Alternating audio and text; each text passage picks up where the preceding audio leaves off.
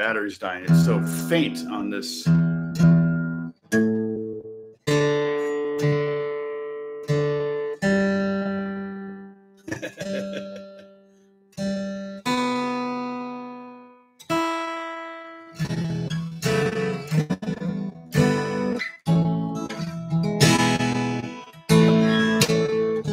Ugh, my hair. I need a haircut. So bad. The uh hey Roger. Pepper. Yes, I'll talk about my day off here in a minute. Um my I, I'm just doing the YouTube. I'm not using the OBS again today because I did the the speed test and it said 2.4 uh, megabytes per second, which is just way on the low side. So I'm hope it may be it may even affect this, which is probably the most direct route. Hopefully. I did log on to uh, Discord yesterday for a little bit. I'm sure you saw that, liking comments and all that.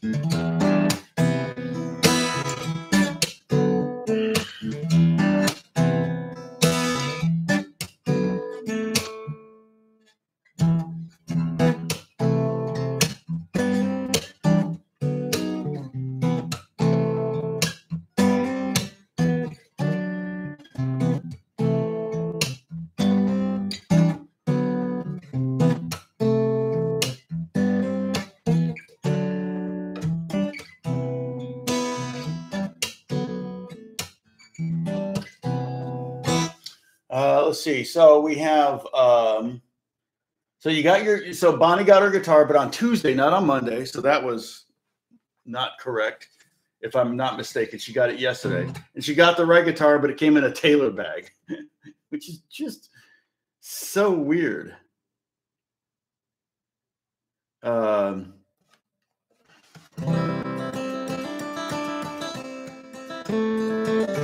Hey Miguel. Dennis.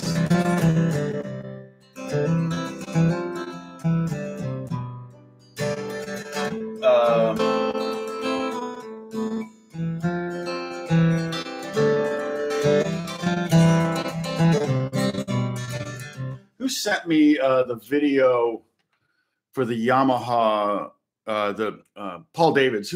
Paul Davids' videos look so good. I mean, they just I really wish I, I, could make my videos look that good. I'd have to buy a much better camera. I mean, he's making videos. He doesn't do live stuff. I maybe he probably has some live streams because of the the lockdown. But um, and I think is he in Copenhagen? Is he Danish or is he in Holland? The Paul Davids guy. But he was talking about that uh, Yamaha guitar and like, is it the future of guitars? And I'm just like,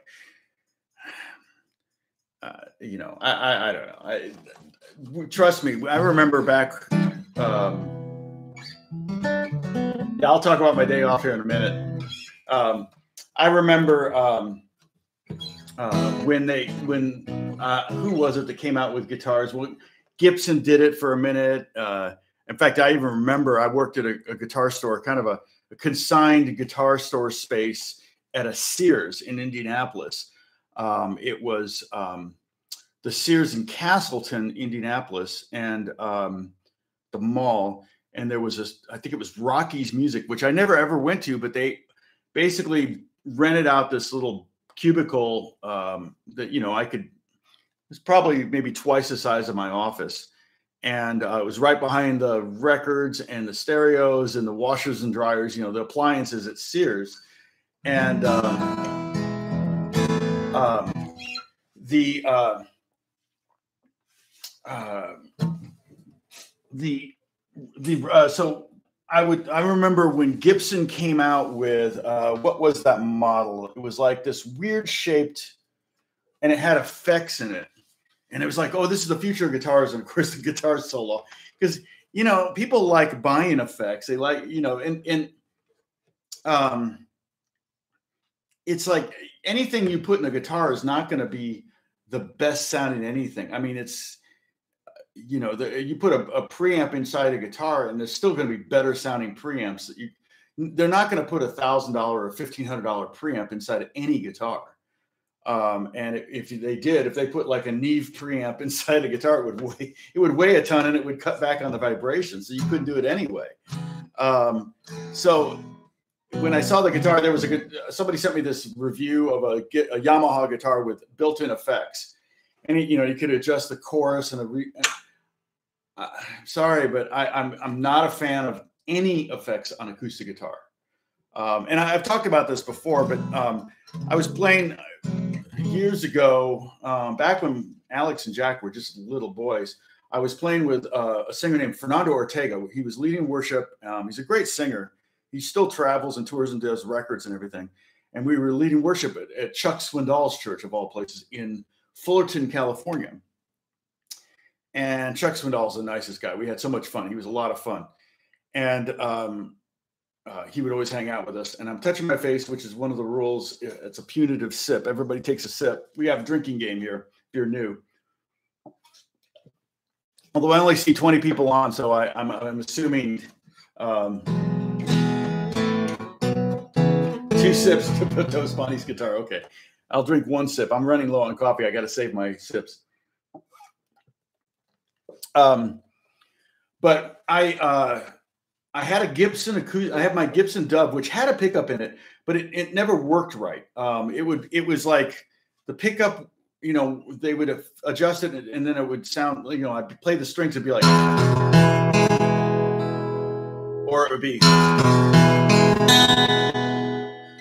one or two of the top, either the high E string or the B string or both, wouldn't ring out because the, the saddle wasn't making good contact with the piezo pickup or piezo or piezo or however it's said. I've heard knowledgeable people say both ways. So, um, and so I I didn't I didn't use the pickup because I didn't want to lose my top two strings while I was playing acoustic guitar for worship, and I also wanted to play mandolin, and my mandolin didn't have a pickup in it. So, excuse me. I brought a um, uh, my I had a, a, really nice microphone that my band I bought for my band to use to record vocals and everything it was an AKG 414. Very good microphone, very good all-purpose microphone, large diaphragm microphone, pretty good for vocals, very bright microphone, but really, really good for guitar. And since it was just me on guitar and Fernando on piano, and then there would be a cellist on the other side, um, I could have a large frame, uh, large uh, uh, diaphragm microphone on stage with me. And if I had a drummer behind me, it really wouldn't work because it would pick up more drums than guitar, or it would just create so much of an echoey reverb sound for the sound man. He would just be frustrated. But because it was just a small, you know, acoustic trio, um, I set the microphone up and um, I would play all the, you know, play all the songs, you know, and uh, um, I would get, and it, it just it sounded great. And we we had wedges, so you have to be a little bit careful. Like I couldn't have too much guitar in the wedge, or it would feed back because the microphone is literally right above the wedge. Um, but it wasn't a problem because there, again, there was no drums. It was just Fernando singing. Beautiful cellist on the other side. Sometimes a female singer. Sometimes a bass player. In fact, John Patitucci. I don't know if you know who that, that is. I did a gig with him last year but he he totally remembered doing these. But he played, gosh, he did. He must have done like a couple months of those of, of those weekends. So so I got to play with John Patitucci, which is pretty cool. Um, but I got so many people coming up to me saying, "Man, what kind of pickup is in that guitar?" I'm sitting there with a microphone right in front. Like, I mean, what kind of pickups in that guitar? I've never heard an acoustic guitar sound that good. And I went, because it's not a pickup. I've, you know, I, I always say there's three types of guitars. There's electric guitar, there's acoustic guitar, and then there's the piezo acoustic. And so the problem with a piezo acoustic is it it it already trends towards the electric sound. You know, you got your electric guitar sound here, you got your acoustic guitar sound here. Here's the piezo, and if you add chorus to it, you're shoving it over to the electric sound. If you add compression, it's going to sound more like an electric guitar. If you if you add uh, reverb, again, less and less it's going to sound like. Now, don't get me wrong. When I'm recording acoustic in my studio and I got my ears in, um, for me, I put in reverb. I'll put compression. I'll EQ it. Um, and then to the producers and to the composers, I'll send a wet version and a dry version, meaning I will send a version with the reverb and all that stuff in it. And uh, and I will send a version that bypasses all those effects, and that way they can do because a lot of times, like my mm-hmm. idea of good compression is not, you know, I've I've got some plugins, you know, and I've got some presets and everything, but guys that mix movies or games or or TV shows or records, they're going to have much better plugins than I'm going to have. So my compression is going to sound like garbage compared to for them. They're going to go, "What kind of? Oh man, why did they use that plugin? You know, whatever." So that's why I always send a dry version to the engineers uh, to be mixed. So that's just a that's a pretty standard practice. A lot of times they'll say, "Send us the DI," which that doesn't usually work with the uh, with electric. Um, when they say, "Send me the DI," because that means it's pre-amp. Um, and but sometimes they want to reamp it. They want to run it through their own amp effects. So some people say that, but most of the time, if I'm doing electric guitar on something, they want all my sounds. Uh, that so that's different. But on acoustic guitars, I definitely do a wet and a dry. Uh, we have big congratulations. You can take two sips on uh, Bonnie's guitar, new guitar, her new Yamaha came. Uh, I saw pictures of it yesterday. Uh, I don't know if you saw me on. Uh, I was on Discord yesterday, just kind of thumbs upping and hearting comments. People missed me. I love that. Um, let's see, how many people do we have online? I'm going. I'm here. I'm going to create the, a link. So you have not uh how many people do we have on well if we we got 34 people so there's a chance that there's somebody new here so if you want to go on and continue talking about guitar stuff and and you know being helpful and supportive to people, that's primarily that's yeah. Patitucci's a great bass player. Uh, super nice guy too. In fact, Alex, my son, is writing music with his daughter. She lives in Hollywood, and, and so the two of them got together and wrote a song. Um, and uh, you know, she's like she wants to be a pop artist. I forget what she goes by. Um, Grace something, Gracie or uh, it's you. It doesn't. Her last. She doesn't go by Patitucci. You have to. You have to figure that out. But you can follow her on Instagram. In fact, I think on Instagram they they posted some of the song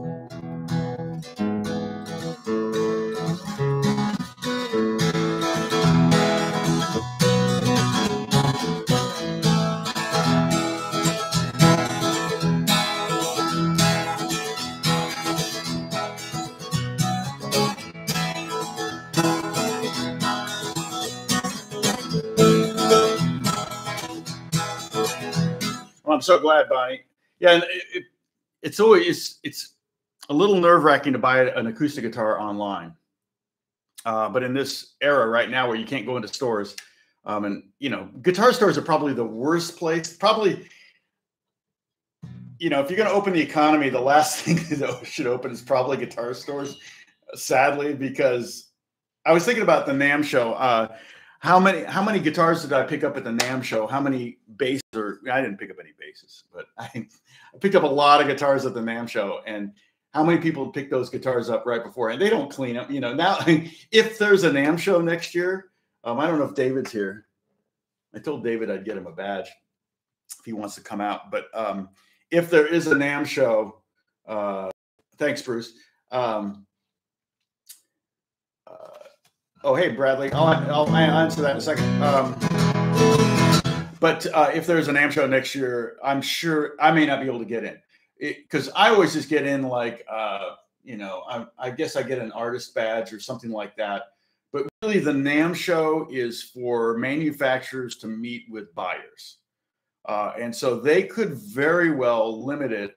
You know, and I, when I get an artist badge, it's not because I'm demoing um, I've never done that. My son does that, but I've never done the demo thing uh, the NAMM show. I've never been asked, or maybe a couple times I've been asked, but generally I, I just don't want to sit in one booth for four days. It just sounds like no fun. my son, Alex, if you're on, if you're watching, he can chime in, but you don't really look forward to it. I know that. And so uh, I feel bad because it's like, you know, I took Alex and Jack even to the NAMM show for years, and uh, as kids, you know, Alex started going when he was seven years old, and um, and it was always a lot of fun. Now that he's working it, it's no more. It's not fun anymore because he got to sit there and, you know, in fact, the booth where he's at, the last two years they had the, this bass booth where people just play way too loud. And the thing about bass is when you're right on the bass amp, you can't really hear it.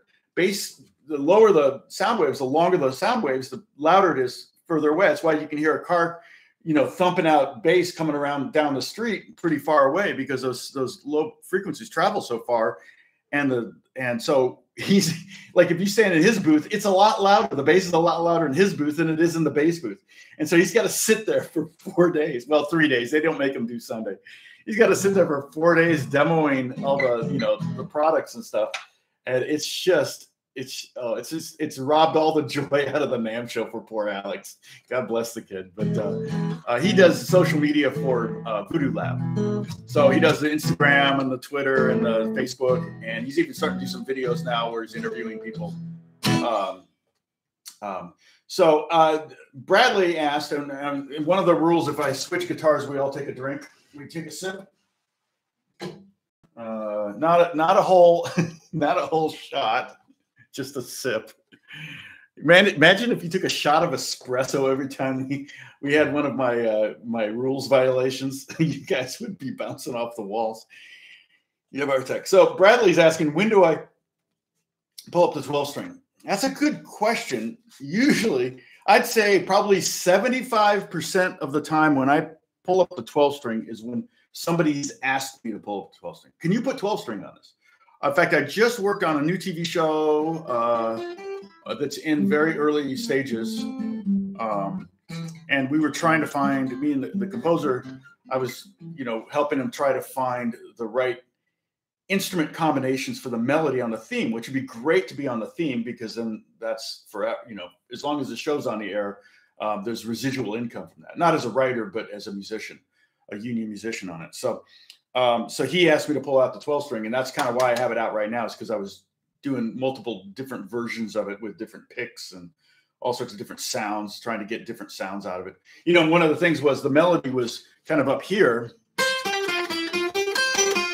right? Uh, but those are all unison strings. So it was or more something like that, right? So I actually had to I had to play it on up here.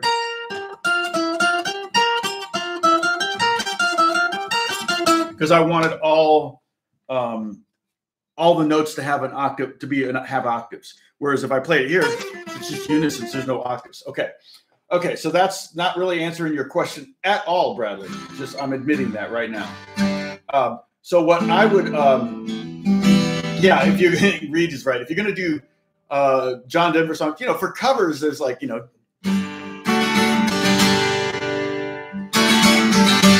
Um, if you want to kind of if you're being asked to get that sound. I like to use uh, I like to use um, 12 string. When we talked about this, we did this what, three four days ago. Oh, and I'm going to talk about my day off too. so in a second here, um, we talked about the the free range groove. So a lot of times, if I'm going to do something that's supposed to sound like the Wild West, you know, like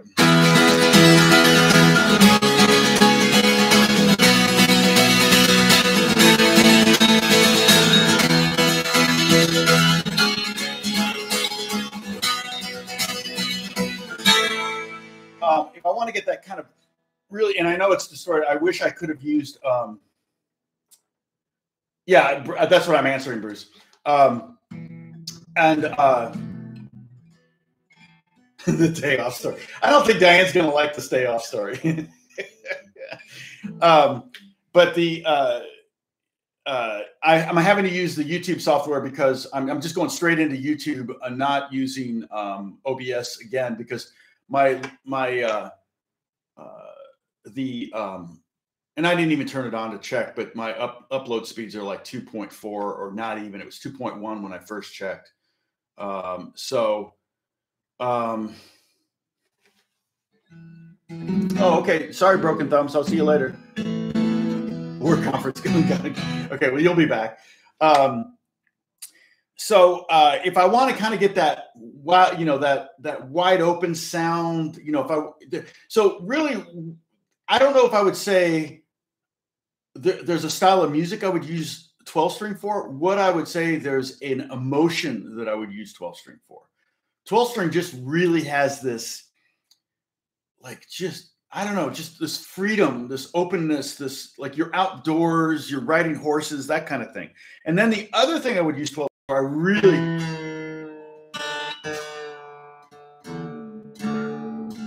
now I might use it for open detuning. I'm going to drop D tuning now.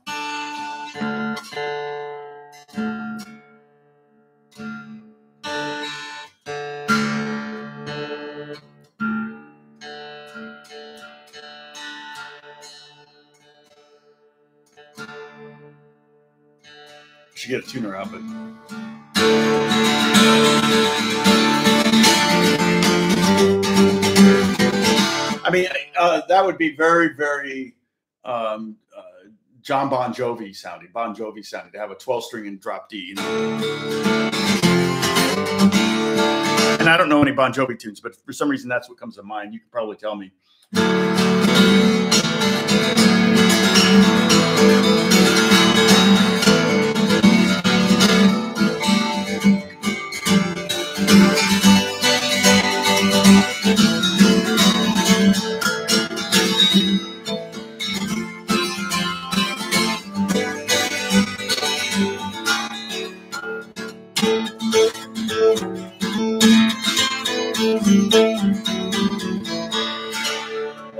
To mind when I'm when I've got it tuned to drop D is to do some slide, you know.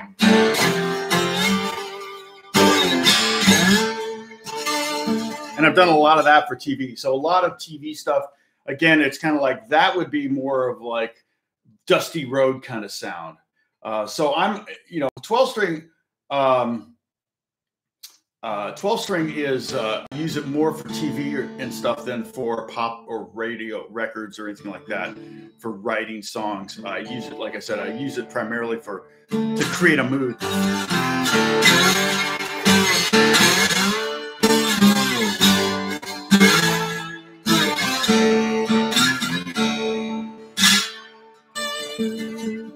So hopefully that kind of answers your question if you're even still online. Uh, Bradley, right? I think it was Bradley. You, you may be new, so welcome. I haven't seen Bradley. Oh, okay, Bradley. You did say thank you. So um, let's see. And they look out for you. Do you see Bruce? Everybody. Oh, Dennis. What's uh, Dennis? Let's see. Do you play the 12 string the same way as your 12 six string? Uh, I can use the string set. Oh no, I never use the string separately. No, no, I don't do that. Uh, I always so when you're picking, you have to pick two strings at once but they're close together.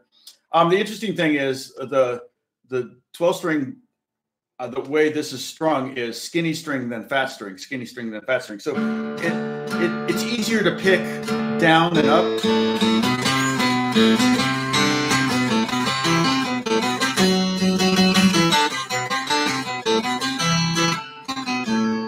Um, and uh, but so if you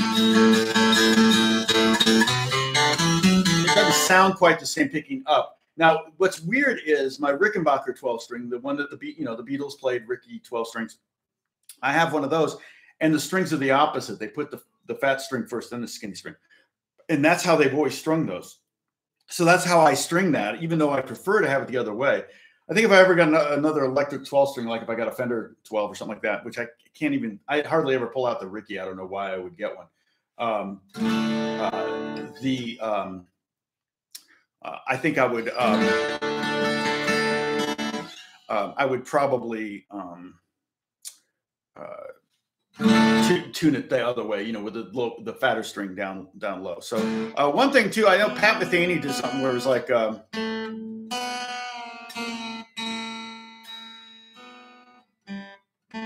I did do this thing.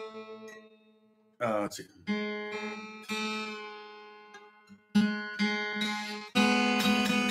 Like I've got it tuned to a major third, so that's G and B flat, or minor third, sorry. Uh, and I did do some experiment.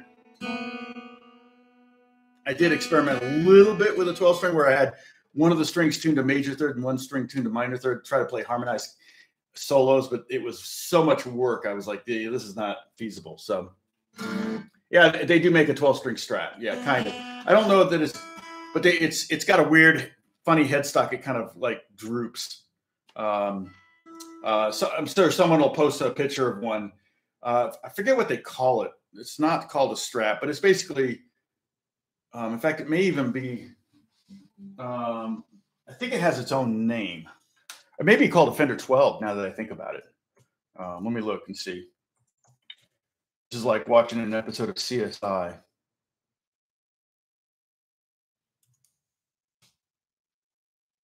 Uh, yeah, let's see. Fender. Oh, um, uh, the best way place to find it is always Reverb. Here's Reverb. Um, and what do they call it? Traditional Stratocaster. Uh, yeah, because the bridge would be a mess. I think. Okay. Yeah, a, a Stratocaster. Oh, it's called a Stratocaster 12. Wow. Well, here's one for 900 bucks. It's really cool looking, but man, that bridge has got to be. How do they do that? and just think, and it doesn't look well in the headstock. They changed it. It's more just like a. Uh, I won't say what it looks like. I'm sorry, but it just it's not a it's not a family. it's not appropriate. um, let's see if we get a little more light. All right. So uh, yeah, yeah, reverb's great for that. You can just at least see stuff and see what something's worth or what something you know might cost. Wanted Dead or Alive. Yep, that's yeah, that's the song, Peter. Um, I get worried about amplifying 12 string. Yeah, it's not. I mean, one thing I one thing I do one I I realized was when I when I played my Ricky to get the sound that everybody was getting back in the 60s, um, I discovered you you really got to compress the crud out of it. It sounds really good. The Ricky 12 string in particular, and I don't know if it's because of the pickups or just because it's 12 string, because it's got the it's got the unique pickups too um, that I don't have on any other guitar. Yeah, right. And the bridge was designed by a mechanical engineer. Yeah, not a civic civil engineer. Bruce. Uh, yeah, a civil engineer designed the road to get to the Fender factory that people get lost on. So I'm just kidding. Um, so yeah, in fact, uh, Jack texted me, "Are you talking about me on the live stream?" I'm like, "Oh no, what did I say? Did he get in trouble?" Uh, it's funny because like a Vito reached out to him. So, and if Vito's not what, no, I don't see a Vito on today, but just know, know Avito he, he may get back to you. I don't know. I text him and I don't, I don't hear from him. So, uh, you know, it's like his, he won't reply to his own dad. I don't know how much he'll reply to someone he doesn't know. Um, so, uh, but, uh, um, they, uh, anyway, so I told him I wouldn't say too much. He was just worried I was giving away like trade secrets, and I told him what I'd said because I was like, "Shoot, was I? was I saying something?" And uh, he said, "No, none of that stuff's like protected information." So he was more worried about me talking about inside stuff that I I don't really know any of that stuff. So so that's good. All right, so um, so the strumming thing. Oh, so I got we got enough people here, but you know, we talk, I wish I had the OBS software so I we could do some strumming. You know, I could show you some strumming patterns and things like that. Um, but I have the one that I really like. I call it the hip hop pattern, and it was I kind of came up with it in the '90s. It was very. I mean, it wasn't like I didn't come up with it. I was imitating other guitar players, um, and really more imitating drummers. You know, um, and it, it's this pattern. It's um.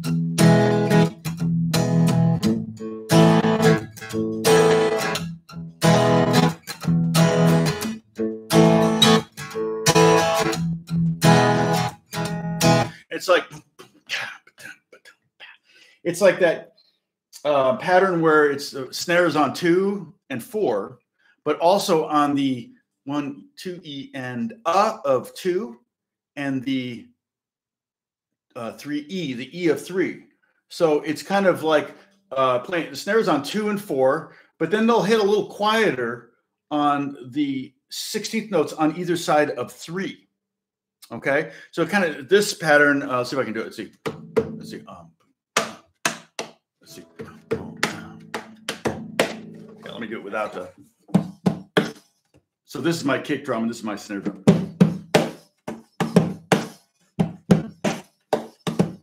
Right? That's weird. I could probably do it with sticks in my hand. Um, I want to grab my 12 string Ricky. I've had it out. Didn't I have it out? Uh, one of these lessons, I thought I had it out.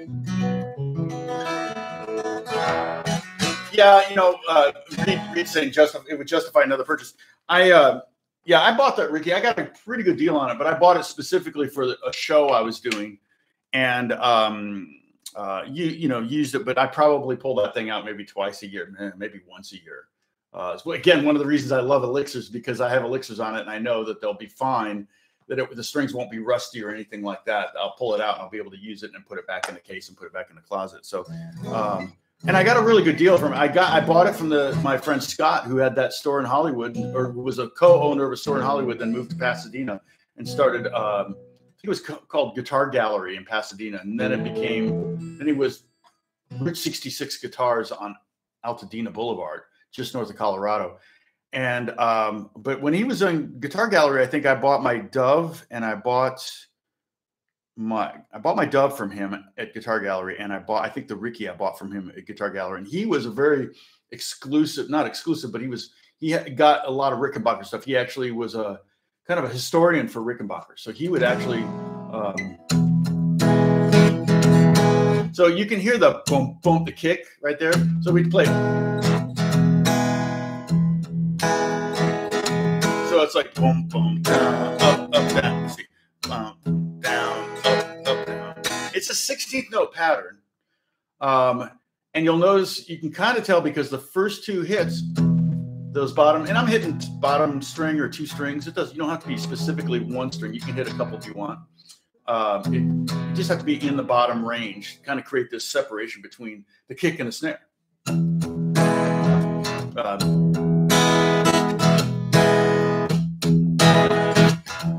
I might use that pattern more muted.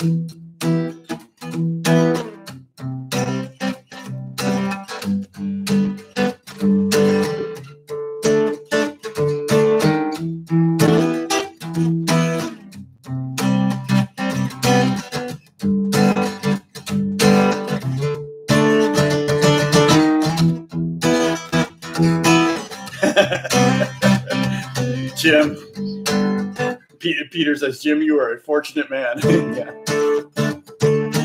Hey, my wife bought me my first Telecaster. So, uh, so yeah, you got, yeah, my wife knows, she, she knows what pays the bills though. So, um, uh, so it makes it a little easier uh, to, to justify. But uh, yeah, 12 strings are amazing. I mean, uh, they're a lot of work, um, but I would, if, if I would not buy a 12 string online. I would wait until stores are open and go play some. And I would highly recommend a, a, a Taylor 12 string, not because I quote unquote endorse Taylors. I really don't per se. Um, I don't, I'm not on a payroll. They don't give me anything. I, I taught clinics for them back in the 90s. Um, but I, um, uh, I I know that Taylor kind of brags about starting their guitars with their neck. They want a very playable guitar, and then they build a guitar around it. Um, and that may not sound like a brag for some guitar builders. They really may want it to sound good. Taylors sound fine. They're not. They don't. You know, you they, they have a, they have a wide range of sound opportun op, uh, options. So um, yeah, I'm a fortunate man too. but you know, I don't know, Bruce. you know, you had a career. You had you had income. I mean, I mean, I think about the years we lived on ten thousand a year. You know, and it wasn't that long ago. I mean, so you, you, you got you got to realize it was a rough path that almost everyone in my shoes I, I, can't think of anyone that was in my boat that stayed with it that didn't just get a regular job. So i think there were six or seven times where i told beth i'm going to quit. I'm not going to do this anymore. And she'd say and do what? And i'd say well i don't know. I work for ups and she goes well what were you going to do with it? Well i said i don't know. Work in a warehouse you know make 15 an hour. And she goes, Well, not to start. And I went, Yeah. And she goes, well, Yeah, and you'll probably have to do the midnight shift. And I'm like, Oh, yeah. She goes, Just get a couple more students. That's, you know, you get two more students, and that's almost what you'll make in a day, it, it, it, you know, or more.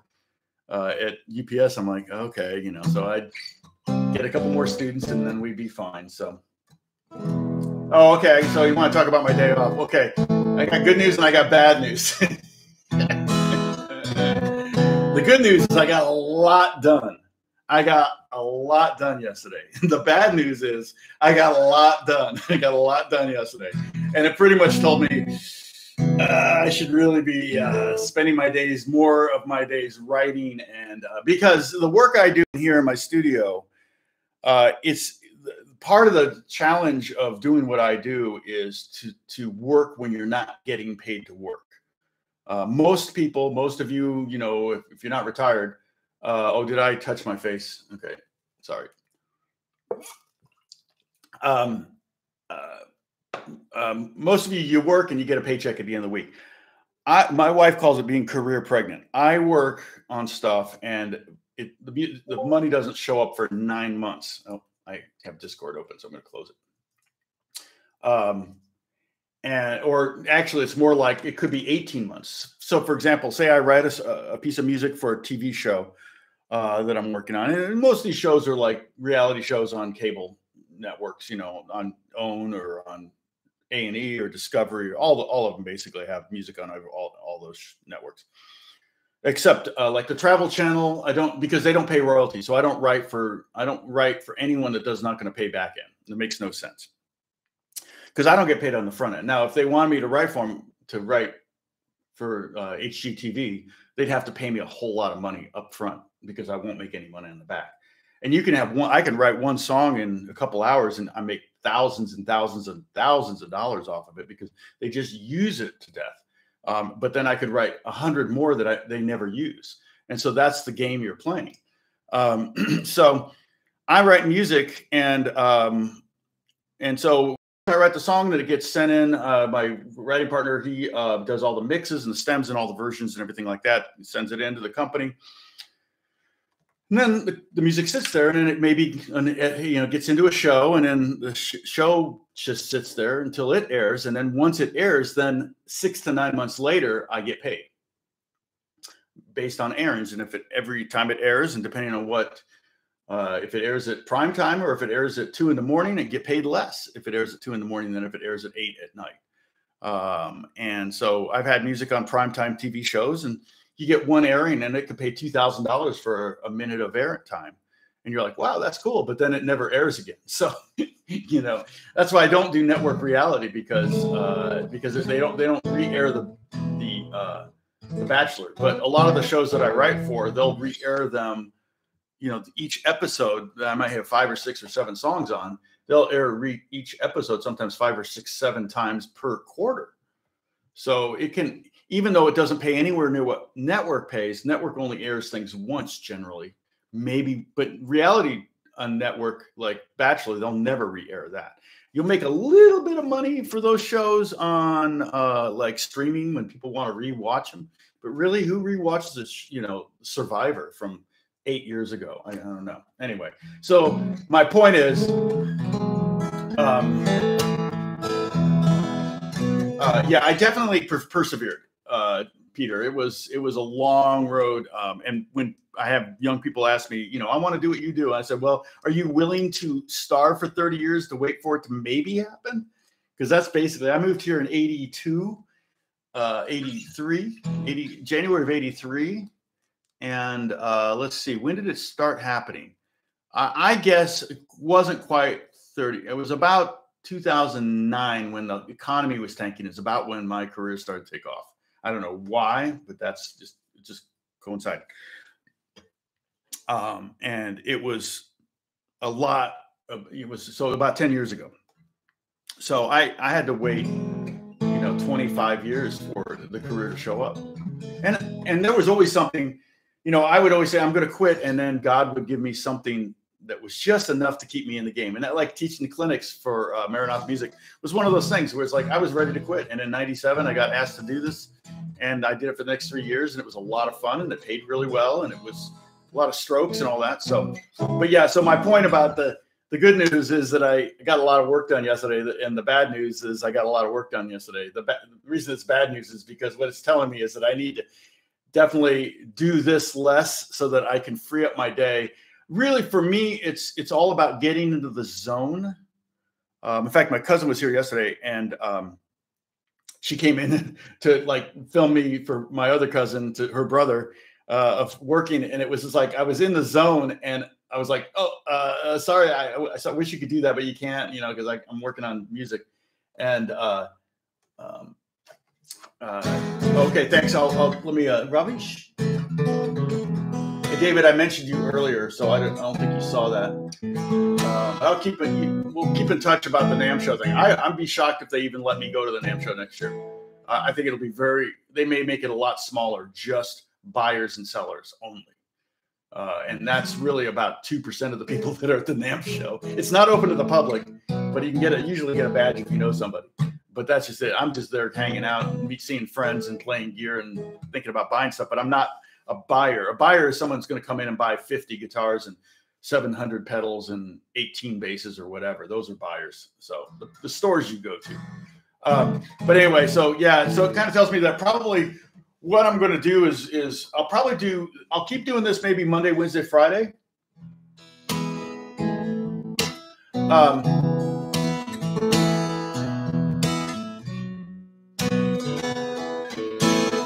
yeah, I understand that, Buckle Cat. I've had music jobs I hated. Just so you know, I've had music jobs that stole my soul. so, uh, and sometimes uh, we and, and, and we call a lot of the music that I create. It's like it's not very it's not particularly interesting. It's just to it's to fill space on a TV show. We call it music by the pound. Oftentimes, actually, that's more often when we're doing like a whole bunch of music for a movie where you got like cues and you basically that's why reading is so important because they'll throw up a, a chart and um, you got to read it perfect the first time and then they go to the next chart and then the next chart and the next chart and you may do 50 of those charts in a three hour session. And uh, basically it's like as a music by the pound? You're just like cranking it out. Um, tumo tuomo tumo hi tuomo. Uh, so uh, yes, question from Ravish. How do I practice these days? Where was that question? I saw your name up there. I was it just that?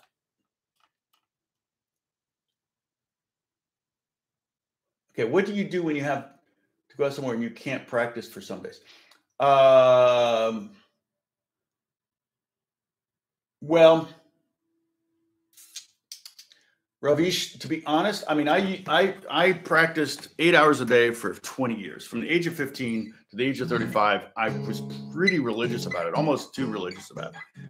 Um, and I had a routine, a lot of classical stuff, jazz stuff, reading, um, soloing scales, things like that.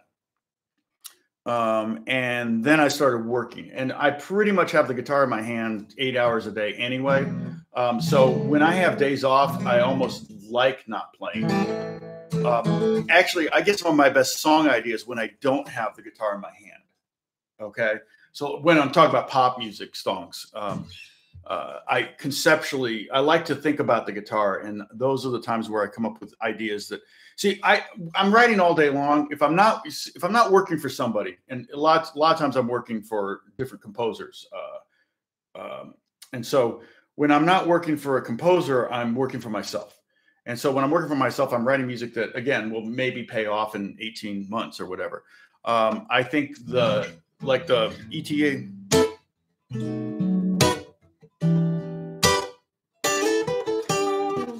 That song, I wrote that.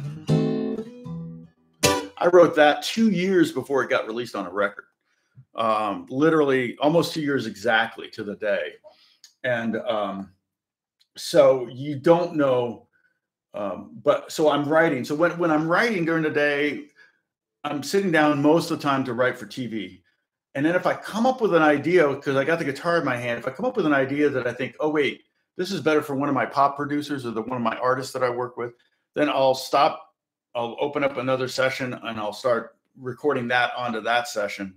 Um, and then save that and send it to one of my pop producers or pop artists or something like that and generally the way it's broken up into camps if it's derivative if it sounds like something else um, uh, i will send it to tv because they want they love stuff that sounds like tom petty or sounds like Zeppelin, or sounds like Delta Blues or whatever. And I don't I don't make it sound, I don't do sound likes ever. Uh, but like when I had the 12 string because it's still, yeah, still drop D. Uh, when I was doing that slide stuff, you know, that's not copyrightable for you know anybody. So I can say I could do five tracks of that kind of stuff and send it to the TV production companies, and they'll eat that stuff up. But if I come up with something that I feel like is like you know.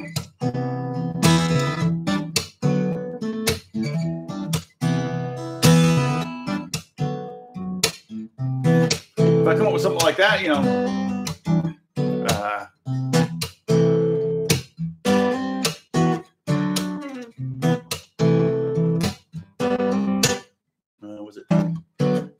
You know, I'll get that to one of my pop artists, and um, and then they'll write to it, or they'll have their team write to it, or something like that. So, um,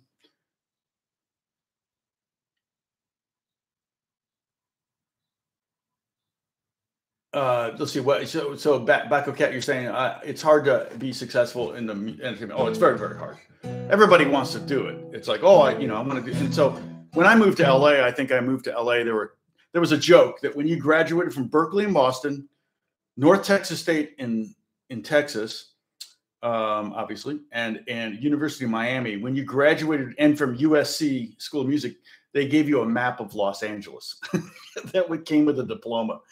And I think the year I moved to LA, 20,000 other guitar players moved here too, including Dan uh, Dann Huff, who didn't stay here, but he he moved here six weeks after after I did, and within six weeks of that, he was working with David Bowie, and I still was like playing in a garage band and teaching one guitar lesson a week and working at a record store. So, it, it you know that was um,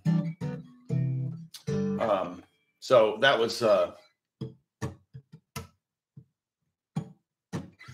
Uh, Pepper, uh, eight hours a day. Uh, yeah, I mean, it would be broken up into maybe two four hour chunks. I didn't have anything else to do. I mean, I was 15. Um, I would do it after school um, in the summer. You know, I I averaged eight hours. There may have been eight days I went 12 hours or longer. Um, and then there may have been a few days that I went four hours. But even when I was on vacation, I would take my guitar with us when we would go somewhere and I would sit down and do my routine. You know, my family kind of knew that that was going to be part of, uh, and I would change how I practiced when I was on vacation because I can only take one guitar, so I couldn't do like electric and acoustic or nylon stuff. I didn't really do acoustic stuff, uh, but it was mostly classical and, and jazz and rock stuff. Uh, maybe some country later on. I started working on some country, but really not so much. But yeah, I would break it up. Um, and you know, when we were first married, my wife was the breadwinner, and then uh, you know, I had maybe two or three hours of students a day. And then if I had a session or gig or whatever, sometimes that would take away from uh, the eight hours. But I figured if I had a guitar in my hand, then it would be kind of the same. Now, like I said, I have guitar in my hand all the time. So, oh man, so Vito, you don't have a guitar the next week. Oh, and Avito, I saw that you reached. Jack told me you reached out. He goes, "Are you talking about me?" I'm like, are you talking about me on the yeah and I, I said somebody reached out to me i said was it a veto and he said yeah i go okay uh, so don't expect a quick reply because I, I don't get a re- if I text Jack and I pay his phone bill if I don't I don't usually get a reply from him at all if if if I do at all. Um, so what was your question, Vito? Sorry, we're kind of not talking too much about strumming here. Um, I want to do that hip hop strum, but I, it, that's a hard thing to teach over the internet. Um, uh,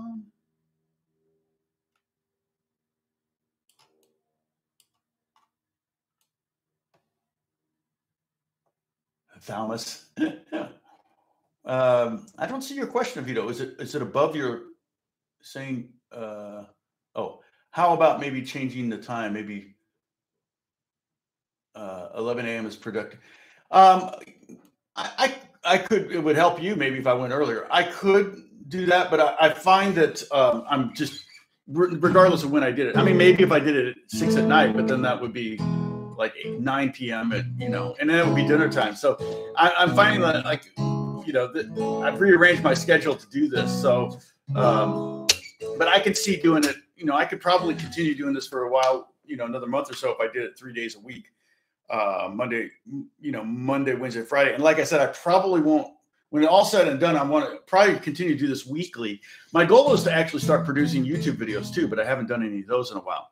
Um, uh, th- those really do help with if I if I hit one out of the park on the YouTube videos and really hit on something that people want to learn about, um, uh, then um, those videos can generate a lot of revenue. So, uh, but I haven't done a video since I started doing this. I haven't put up a new video. I think maybe one new video since then. Uh, and so I, I, you know, we, we also talk. I also talked about doing a beginner uh, or a a series that's basically one, you know, lesson number one, lesson number two, lesson number three for very beginners. Um, and uh, and those, you know, would be maybe I would try to keep them to under ten minutes, and you know, here work on this for a week, and then every week release a new one. Um, and then that could be a program uh, I've had a lot of people ask me, you know, do you have a program? So funny. Siri thought I said, Hey Siri. What did I say that sounded like Hey Siri? Oh, now it's going to do it again. Um,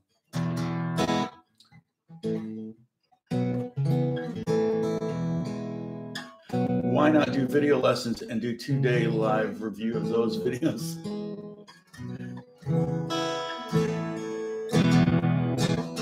Yeah, I mean, I, the the nice thing about doing a, a, legitimate video is that it's up there permanently, and the, the live stream these are up there too. But I mean, these go on for two hours, and where's the lesson? God bless Kimberly for saying the lesson, but I don't know when she would say, I've already been talking for 50 minutes and I haven't really gotten to anything that I would call a lesson, except that I'm just telling, giving you all the secrets that I have, you know, uh, about the business. But, uh,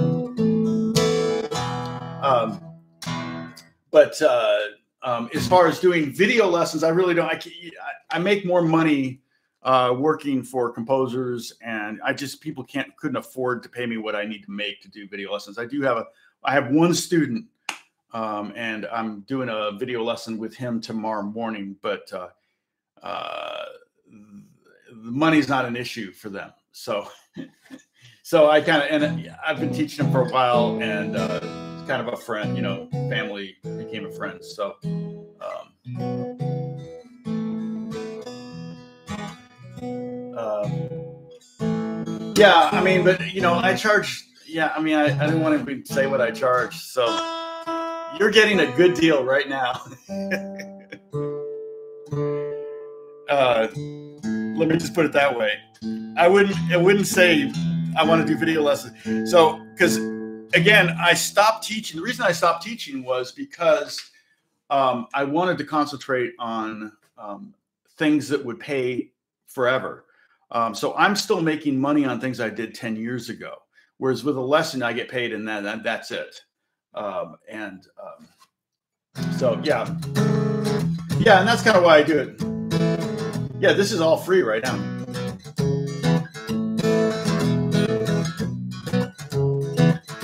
Um, uh, yeah, I know you love me. so, okay, uh, let's see. Uh,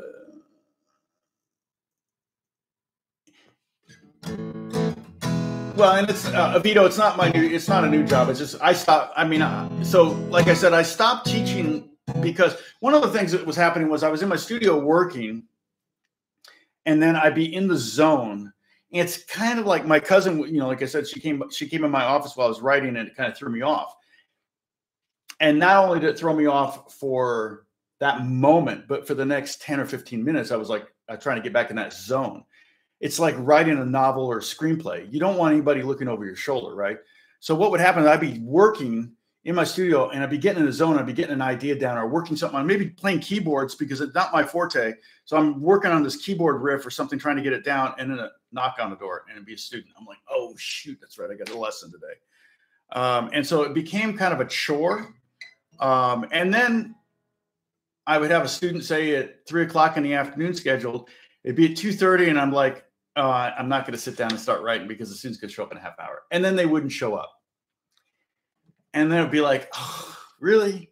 Okay, now let me get in the studio, and then it's like, oh, it's almost dinner time. So you know, so it's um, yeah, you really once you're in that zone, you really don't want, and that's why I love living in a house because before even we bought the house just a year ago, I was managing a building. So I could be in the zone and then I get someone knocking on my door saying my toilet's clogged. so that's worse than a student because I, you know, I don't get paid any extra for clogging someone's toilet. So, um, so I feel like I'm practically on vacation now that I'm doing uh, working in a house and I have nobody. It's really quiet here. So, um, so yeah, it's it's that was part of the reason I stopped teaching, and the other reason was, and the reason I started doing YouTube lessons was because YouTube does have backend.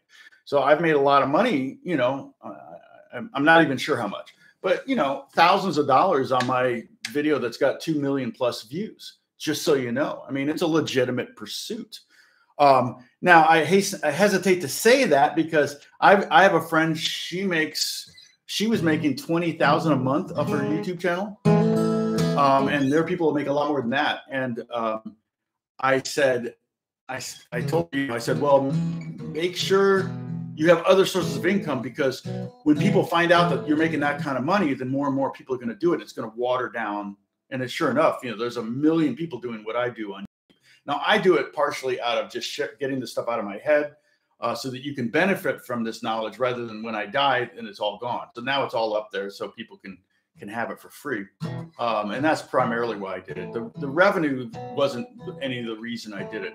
I used to joke, you know, if if I could, you know, I was making three dollars a day or something. I said, hey, well, no, if I could get to three dollars a day, it would pay for my coffee. Um, I remember joking about that. Well, you know, it's it's it's not too too far fetched to think that I could get YouTube to pay for my mortgage at this point. So, um, you know, I could see that that's as close as you know. At when I was making seven cents a day, I was like, yeah, I'm never going to pay for the coffee. But then I got to three dollars a day, and I was like, whoa, wait a minute. So yeah, it's definitely. Um, hey, hooks on board. Uh, I don't know what gnosis is, but uh, okay. Um, so art. Uh, let's see. I would suggest a jam track. Track art is saying. Um, I would suggest a jam track if a strumming lesson, like in these videos, but just one strum pattern per jam track, and it would be only Tom playing. And yeah, it's not a bad idea. Um, uh, um, and maybe that would be an accompaniment to the lessons if I were to do like this progressive lesson system that everybody could go through. That could generate a lot of revenue. Um, but again, I will not use existing songs. So you won't hear, I mean, I would love to go. That would be like one of the first lessons I would teach, you know, someone because I love that because it has uses all four fingers. It's on the bottom string, and I would use it to teach how to read tab and music. And um, that would be your first, like part of your first lesson. And um, but there's, you know, I would have copyright issues. I would I would have takedown notices, or I wouldn't be able to monetize. And kind of the point of, of doing the videos is to be able to is for them to continue generating revenue over over the years. So, uh, but the strumming thing isn't a bad idea. Art, I don't know. Has have any of you ever done the jam along the the uh, intro to improvisation tracks? I'm gonna scratch my head. I think I've got fleas. My hair is getting so ratty. Um, you know what? I'm gonna go knock on the back door of my barber and see if they're they're there. Because I've noticed so many stores. I don't know if you've noticed this because I live in LA. Remember, in LA, we're still on serious lockdown. They're like, you can't go outside. Don't go outside. You can't. You can only walk on the wet sand at the beach. Well, how do you get to the wet sand? I don't understand that. But uh, it's like I've noticed so many of the businesses they've blocked out their windows in the front. You know, so for all you know, they actually are doing haircuts in there and nails and all that stuff. But you just have to go in the back door. So. Um, Uh, but yeah, so the oh, that's true. That's right, Art. You're right. You're the one that pointed out you could play them slower. That's a great idea. Um, can you custom speed, or is it just a pre? It's presets, right? There's like one faster and three slower, or something like that. I mean, I could easily pull up YouTube right now and do that. Um, that's a great idea. But I did a series. Uh, I think I did nine videos on intro to improvisation where I did pentatonic number one, and then I had jam track, and you played, you know. And I did, but what I didn't do was scales up and down. I did, um, you know, melodic ideas. And then I left enough gap, hopefully, for you to do the same lick. Um, that, yeah, so something like that would be kind of cool. Um, yeah, I the uh, Peter, I started doing that. Uh, in fact, it's funny because I started doing it because I did have a student named Peter uh, last year, and you're like, "Well, I thought you didn't teach." Well, again, see, he's an artist, um, and uh, his record is just now coming out, and uh, the record label was paying the bills, so I could charge 200 an hour, and it's getting paid. Even if he didn't show up, I still charge. Um, and that happened more than almost more than it didn't. So you, you see what you know, I'm up against, you know. And even then, getting you know 200 an hour for a guitar lesson um, uh, wasn't um, was was disruptive to my day because when they're paying that kind of money, they and and it's an artist and they've got seven things they're doing in their day, and you're just one of them um, that you kind of have to bend to their time uh, constraints. So it might be very likely right in the middle of my day. So it kind of would jack up my day, and I'd be like, "Oh shit, can I? I can't really sit down to start working on something because it's going to be here in a minute." And then of course he'd be a half hour late. So, um, but anyway, it was a kid named Peter, and um, maybe when the record's out, we talked a lot about music theory too. And uh, he wanted he could play keys, but he wanted to be able to do some of the stuff on keys that he did on guitar. So we were transferring a lot of the stuff he did on keys to guitar. And but one of the things he wanted to learn how to solo, and that's when I kind of came up with it. I said, "Well, here I, I had a jam track, I played it. I said, just imitate me. Here's the scale we're going to use, and he'd memorize it. And I said, okay, now do this. Um, so I did I do a playlist for that? Is that are those in their own playlist? Uh, Peter, do you know? Because I, I, I think they're really cool. I mean, a couple of them d- maybe didn't work as well. Um, lunchtime, go get lunch, David. Um, Let's see. I can't remember if I put them in their own playlist. They may just be in the basics. Uh, let's see. Intro. Intro to improvisation. Let's just take a look at this. Well, basics, and that's it. Okay, so it's just in the basics. So unfortunately, the basics has like should probably create a new playlist called Intro to Improvisation so that you can easily get all those, and I'll just put them all in there. Does that make sense? I got 93 videos in basics because I'm putting all these live streams in there too. So you really, this is not the, I'm, it's not the best way to do this. I've, I've got two playlists. Um, I've got a live stream playlist that all of these are in, but I'm also putting them in another playlist if they have something to do with like cage method or strumming or whatever. So here's the playlist, the basics playlist and in there you'll see I think all nine videos of that, and it's a jam, and and then there's also jam tracks. You can you can open the jam track, and the great thing about jam track is you know those generate revenue too. So if you listen to the jam track, you can down you know if you use a a Steeler to whatever to E and E. What do, what did I what do I mean by E and E? Oh, is that for me?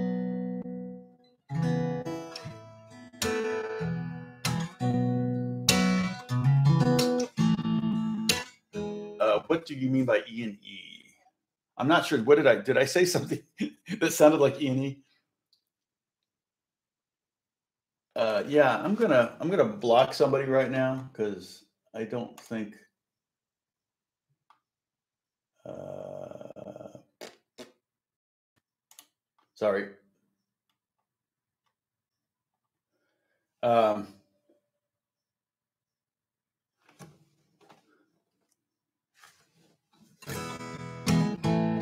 Oh, chord E, chord E. I don't know. Um, but I'll talk and play the.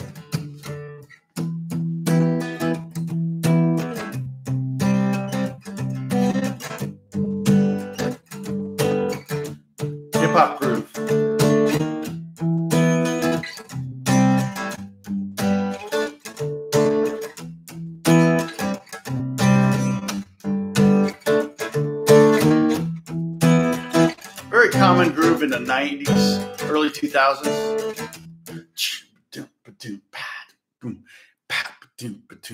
You know, it's that really, really imitating um, uh, drummers.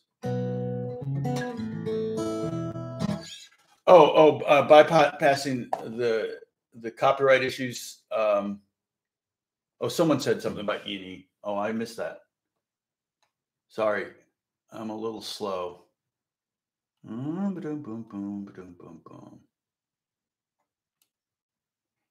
Oh, Aiden, did you say something about E and E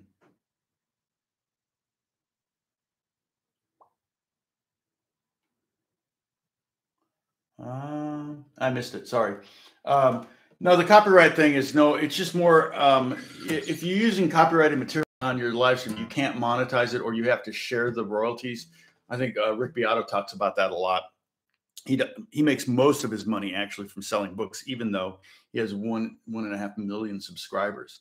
Um, so I yeah, what I would do is I would make up an exercise that would be kind of like that. In fact, one of the first things I might teach my first is that, and maybe not go up the neck, just and even with downstrokes.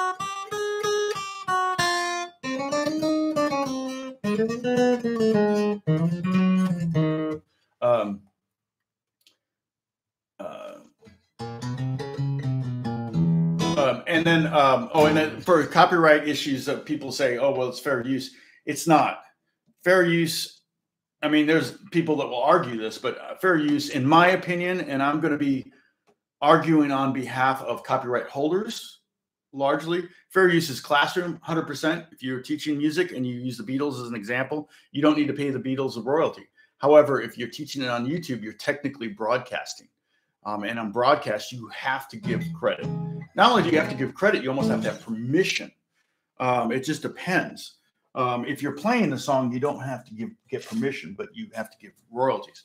If you're if you're if you're playing the song, I mean, sorry, if you're actually performing the song. Um, but if you if you're hitting play on a, a CD player or something like that in a classroom, I mean, online or just playing a song, then you, you have to, you know, if you're putting it in your movie or something, you got to get permission. so it's broadcasting. Um, I could use the E and E. I don't know what the E and E is. So, uh, but again, I'm I'm not going to take chances. Uh, oh, sorry, E E and E with the original strumming tom between measures. Oh, oh, sorry. Uh, guys are all confused. Uh, that's funny. It's the only thing you play on piano.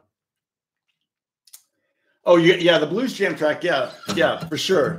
Uh, so the in the jam tracks are there so you can continue to work on the improvisation stuff. So uh, the E, uh, sorry, the E and E with the, the strumming Tom did between measures. Uh, yeah, it's so funny how it just I'm not understanding, but um, uh, but the groove on the, the hip hop groove again is that it's um, let me write it out so you can see it on paper. And what I'm what I do is I generally I'm starting with uh, two bass hits.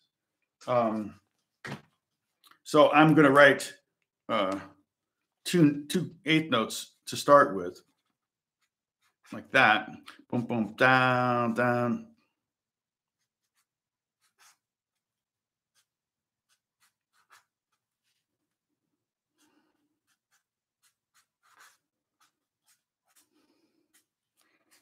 So it's down, down, down, up, up, down, down, and then maybe a down, up to, to get you into the next chord. Um, and so what this is is one and two, E and uh, three, E and four, and then maybe an end, uh, oops, end uh, to come out of it. Okay, so get your screenshot ready.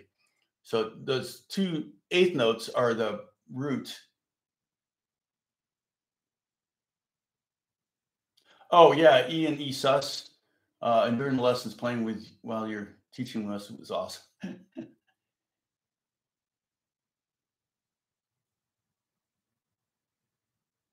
yeah, you should have a guitar in your hand anyway, man.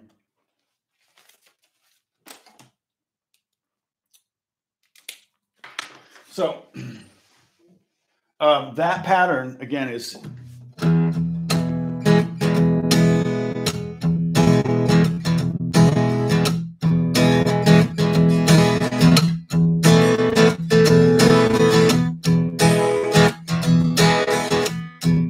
slow motion, if art we were to slow it in half,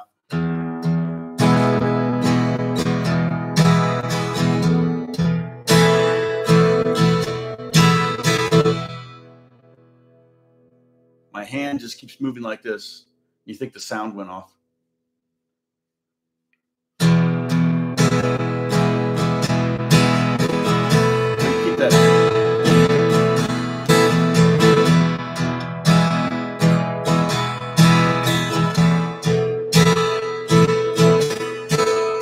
One and two.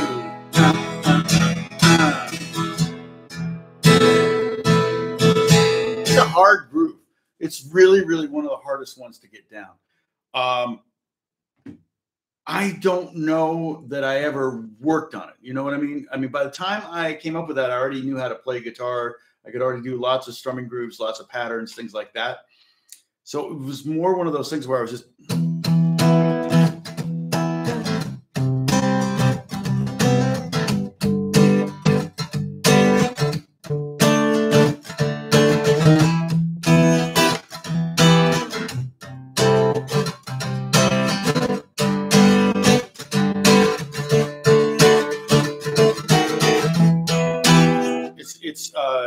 It's definitely one of those grooves um, uh, that um, almost just kind of fell out of me as I was trying to imitate either another guitar player or a drummer. I can't even, I couldn't even tell you.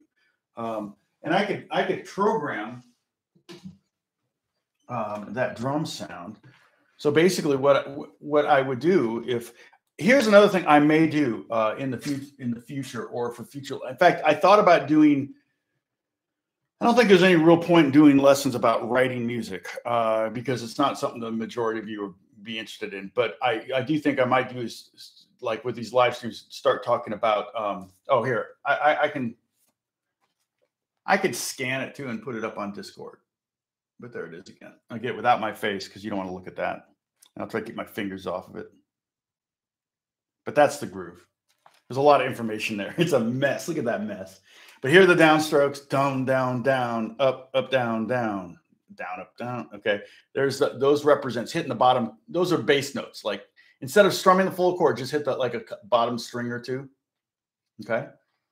Um, and then this is the this is the rhythmic notation for the rest of it. Um, uh, but I, I I thought about doing a you know we could the subject could maybe be chord voicings. We could talk about that. Um, and uh, um, so that would be a, a good um, yeah. A lot of Tom Petty songs have that groove. You're right. That is actually a fairly common groove.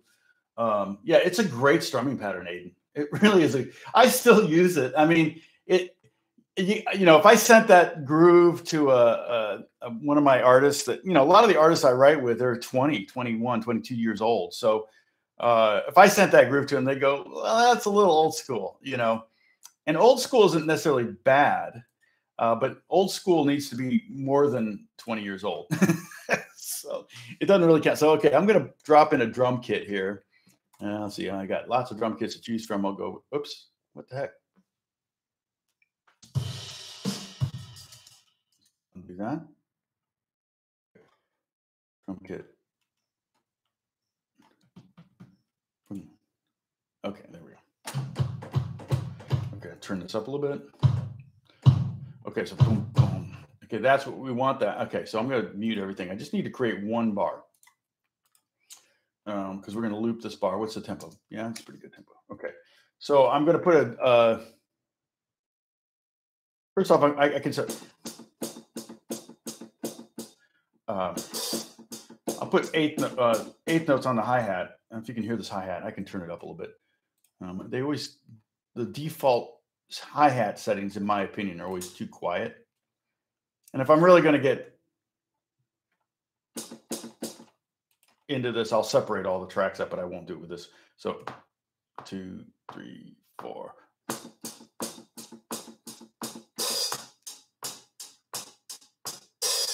Okay, but I may actually put. Uh, okay, so I'm going to quantize that so it's perfect. I mean, that just means it, it moves it right to the 16th note. I'm going to put that open hi hat. I'm going to make it a little quieter. I'm going to put that open hi hat on the 16th, uh, so, and I'm going to put so on the 16th before. So here's the hi hat. So that kind of represents a that last and a one, two, three, four. Okay, that hi hat, the open hi hat kind of will push us forward there. Okay, now we want to kick on one end. Right? Now we want a snare, and I got a couple of snare options. here. I could go that one. That's a hard hit. Um, so I think I'll go with a, that one there. And so I'm going to put snare hit on two and four, and that sounds like this.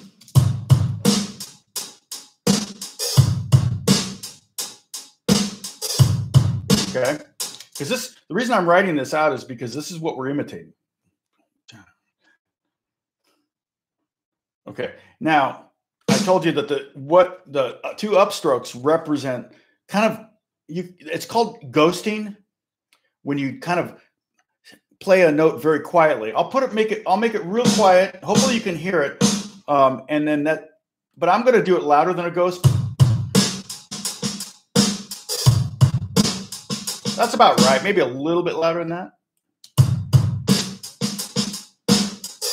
Question is, do I put another kick in? Maybe there. Yeah. So now we have a groove.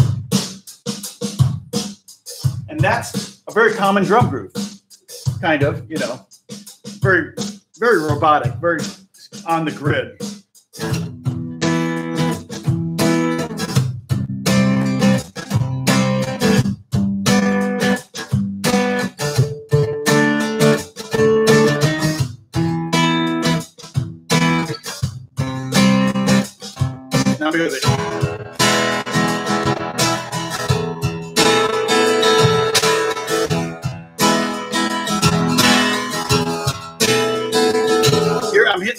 Note on the end of three. So I'm going after those two ups. Sorry, I don't, I can't see what you're saying. Um,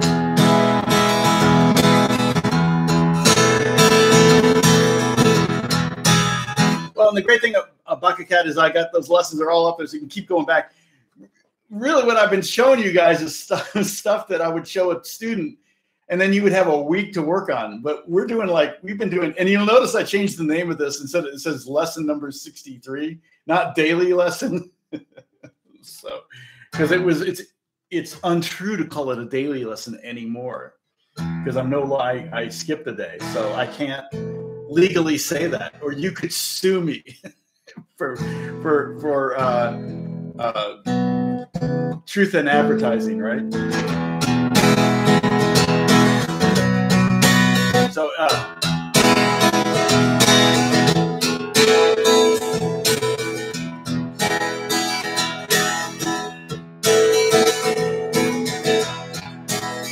yeah, Reed, you might be the youngest, or Avito might be younger.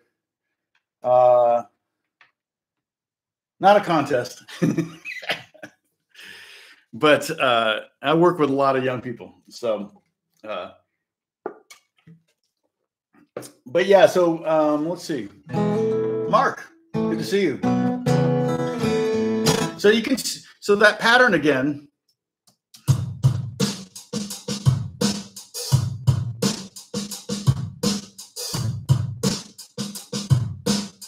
And I mean, maybe, maybe there might be. I mean, you could do a lot more ghosting. Like I've heard uh, ghosting that was like Like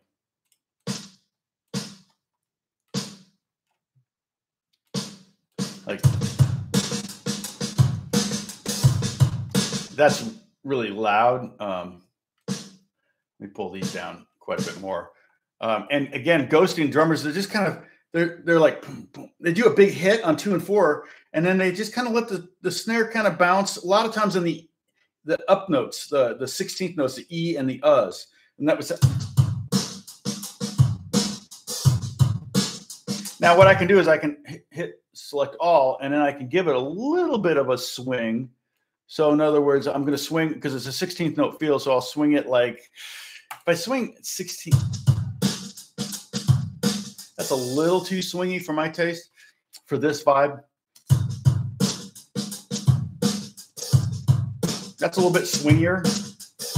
Not human, still not human swing, but but that's the pattern. You know, that's kind of the vibe that we're imitating. So uh, let's see.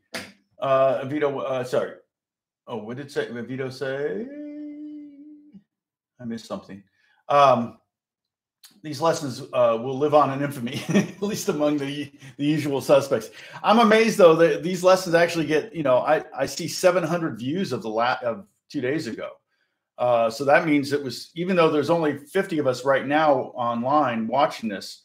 Um, uh, you know, there's uh, there are people that watch these afterwards. So I, I mean, I don't know. I, I have you know, and I've watched Rick Beato's live streams afterwards. So in fact, he's doing a lot of live streaming now.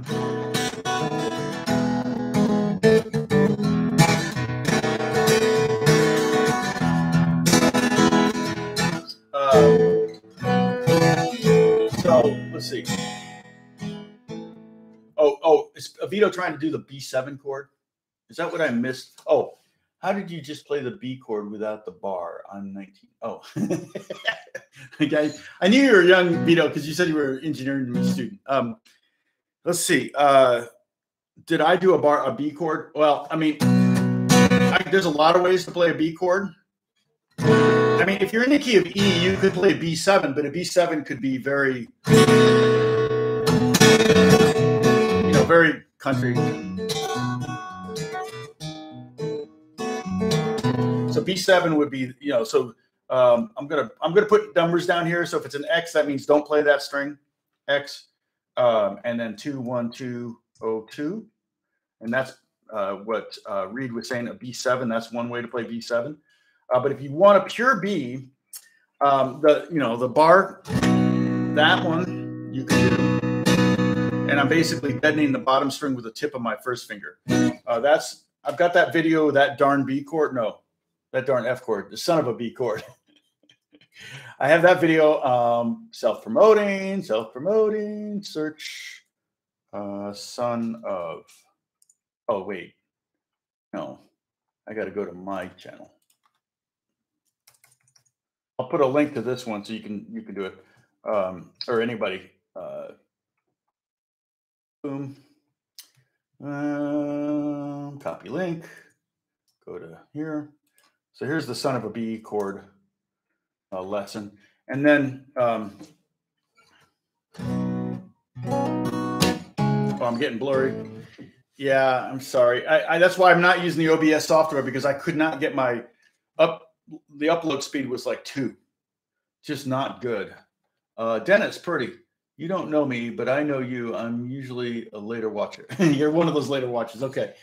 Awesome, Dennis. Pete King. Hi. Hi from Germany. Watch your daily stream for a week. Just show my appreciation for you. Thank you so much, Pete, for staying up so late. Uh, hopefully, well, I'll be in London next year, hopefully.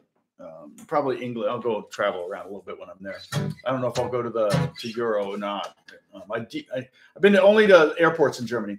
Um, so uh, yeah, sorry about the blurriness. Uh, we should, you know, and and um, oh, good, the video's good there. Okay, thanks, Bob. Um, so I'm not using the OBS software because I was having a hard time with that kind of connecting with YouTube at the appropriate speeds. I was I would have upload speeds as high as 20 megabytes per second, uh, but when I checked it right before I got online, it was two, and I'm like, oh, this is going to be bad. I'm not even going to try OBS. So okay, so B, so that B, the one I was just playing, is this, and this is the one everybody struggles with. Okay, you're essentially making an A chord. So you can um, start out by playing A chord this way instead of this way. Flamenco players actually play it this way. Check that out. Okay. So I don't know if you can see what I'm doing, but I'm barring two notes with my first finger and I'm playing the C sharp with my second finger. So they can play that E flat on top.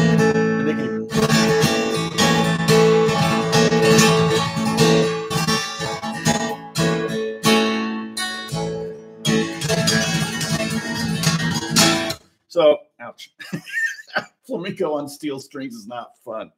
But most people play A like this, or they might play like an A bar, but then, you know, some people can actually bend their first finger so that they, and I can bend it a little bit um, so they can actually get that E string open like that. I, I think I did that back in the day for a while. But this is what I play. This is the way to play it. And if you're playing it that way, you've got at least the voicing for B. Then it's a matter of getting the bar down. And you only have to get two notes with the bar the fifth string and the first string. Okay. So that's a pure B. Now, the drag about this B chord is that if you're in the key of E, you got a big, beautiful E chord with three open strings. And then you got the A chord, which has two open strings, but if you go to A2, you've got three three out of the five strings are open, so it has this beautiful big. And then you go to this. It sounds weenie. Of course, I'm strumming softer to make it sound even weenier to make my point. So I'm cheating. But it just sounds a lot of times if I'm going to use a bar chord on acoustic, I'll do all the chord bar chords. Okay. So in other words, I might go.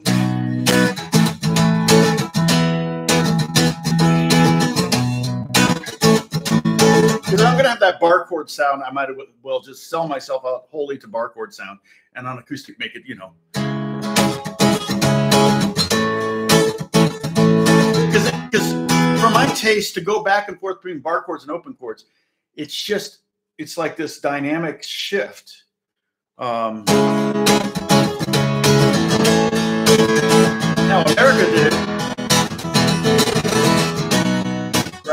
Uh, was that Sister uh, Sister Golden Hair? No, that's that's uh, Crosby, Stills, Nash and Young.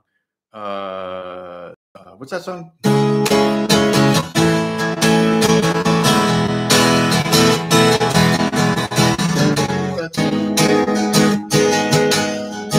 So that they break the rule. They literally playing bar chords and open chords, bouncing back and forth. But you know they're banging them out so hard it almost hard to tell. So, um, yeah, you don't need to do so. Oh, you bar all the chords for the A when you bar. Uh, I used to use my ring finger, but now I notice you use your pinky. So I'll try that. Oh, for that, yeah, sometimes that works. I don't know, but I'm I'm I'm I'm usually deadening the first string when I do that. So if I do like but you can't go. You don't have anything you can play above that. So when you use your pinky on that. Um, but one thing you, you need to know is when you're barring the B chord, you really only need to get this note and this note. Okay. So you don't have, your bar doesn't have to be straight. It doesn't have, you don't have to think of it like a bar, you know, like a bar, like a, you know, like that. It's not, you know, not this metal bar. So you can actually bend your finger and you just need the tip on that, although you do need to kind of bar, mute the bottom string. So that adds another layer of difficulty. Uh, no, Peter, no, it's not. It's not your ineptitude. It's the fact that open string, the difference between a, a, fretted string and an open string is your finger, and an open, and your finger is going to deaden uh, any sound, which is the sound we all associate. You know, that doesn't offend anyone, but it's when I go from.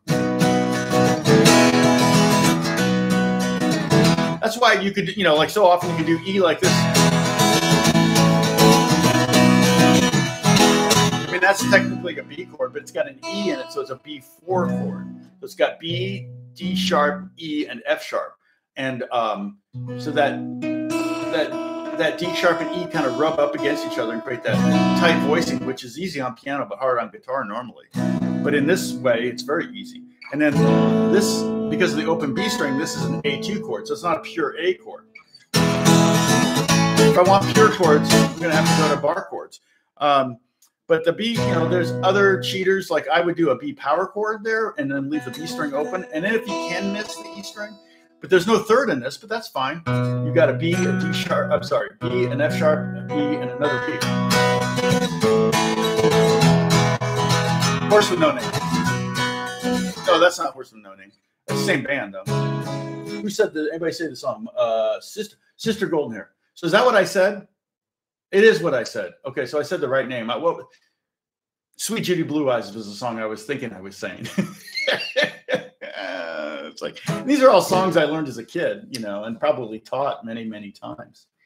And again, teaching a good, I'm not violating any copyright by teaching a song to a student one on one in a in a music studio. Um, but that's for you. Which, yeah, what's the pattern for?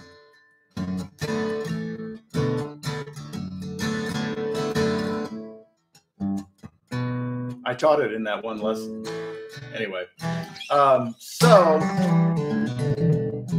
so like I said, the good news was that I got a lot of work done yesterday, and the bad news is that I got a lot of work done yesterday. So what that tells me is I need to not do this every day. Um, and I'll probably get work done today, but I'm I'm you know I'm I'm pretty spent after this being on all the time. You know, I'm putting on a show here. I'm entertaining. You know, that's entertainment. I feel like I've been dancing and singing for two hours when I'm done with this. So uh, it makes it hard to kind of justify going and, and, sitting down and writing, or my head is just not, I can't, it's hard to get there. Um, so, yeah, and, E is one of those keys where it's like, yeah, the one chord sounds so good. D is one of those keys where the one chord sounds so weeny, right? The four chord sounds great. The five chord sounds great. Especially when you're trying to strum and miss the bottom two strings. So.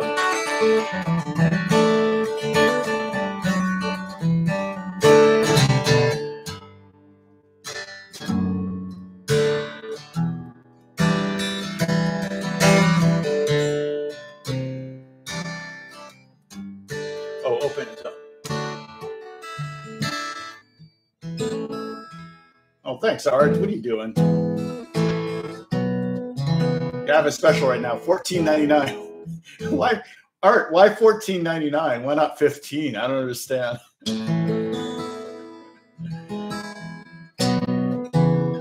Uh, I like D more than C. Oh yeah, you know D is fun. Well, here's the thing: when I'm when I'm capoing, I'm either gonna capo and play using D shapes or shapes in the key of G. C is no fun because you got that F chord.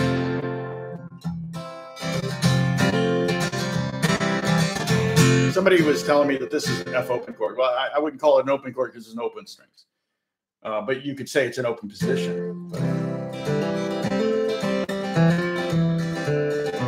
Well, it's, Avito, it's not the first donation ever. I don't even think it's Art's first donation ever. I, I can't remember. Oh, isn't that funny? The app defaults to X99. That's funny. So weird.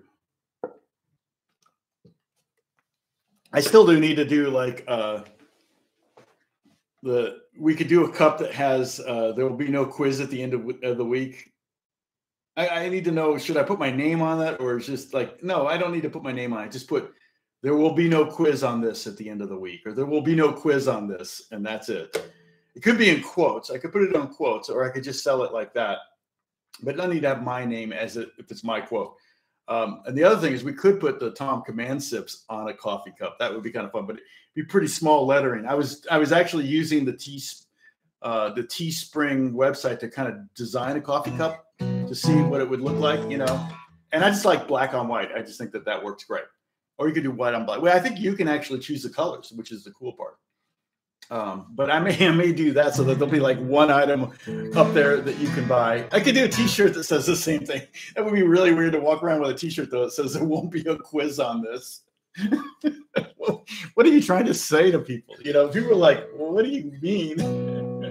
It'd be really funny. Uh, I'm back, and you're still going. Yes, Kathy. Although the lady that was like mad at me for not doing, I, I haven't seen her on here yet for like, are you to talk about strumming? it's like, you don't know me, do you? you guys were all like, oh, he did he, like an hour ago. you guys are all jumping in. I got a thumbs down on that video. I, I even told her, I said, yeah, just give me a thumbs down. I, I, I don't disagree with that at all. If you came in here and it says strumming and grooving lesson, and then, and then like I'm talking about coffee mugs, not, it's not but yeah, the groove that we're talking about today, Kathy, and that literally probably 4% of the video is about the groove. This is what I'm imitating, this feel, which you hear all the time in music, even today, even new music. Squirrel University, exactly. I know uh, Bonnie's Bonnie's squirrel died. Uh, uh,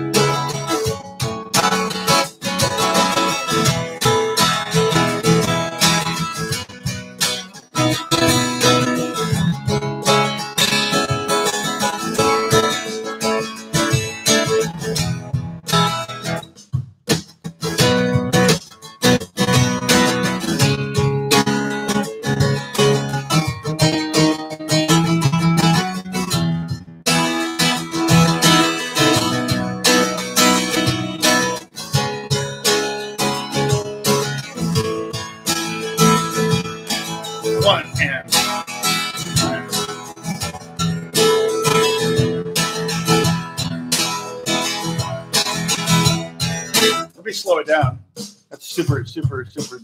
Oops, sorry. Oh, here it is. Okay. I can slow that down pretty easily. Let's see. I'm at 85. Let me go down to 60. Because it's a 16th note pattern, the eighth notes are going to be 120 and the 16th notes are going to be 240. So even even at 60, that's pretty slow. But here's that pattern. Okay. Touching my face, my face itches. Almost out of coffee. That's when this ends. This ends when I'm out of coffee. So I chug the last bit, sign off.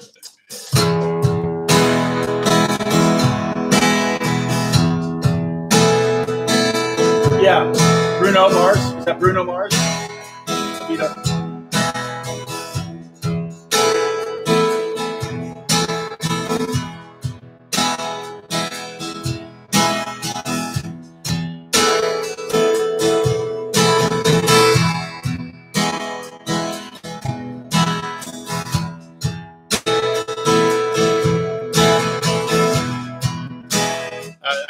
Thing I say all the time. What what is the thing? I, there is something I say all the time. Um, what is a single cut right below my SG? Oh, uh, that is a uh, like a I don't know, an eighty dollar Epiphone Les Paul. Um, is what is that? What is it? I forget. It's a standard, I think it says. Special. So it's like it's got it's got um soap bars in it. I paid 80 bucks for this. My daughter did the artwork. Very Beatles kind of vibe. You know, she really went for that Beatles kind of uh look of the kind of like a um what was it, revolver? Uh, but I have this tuned high strung.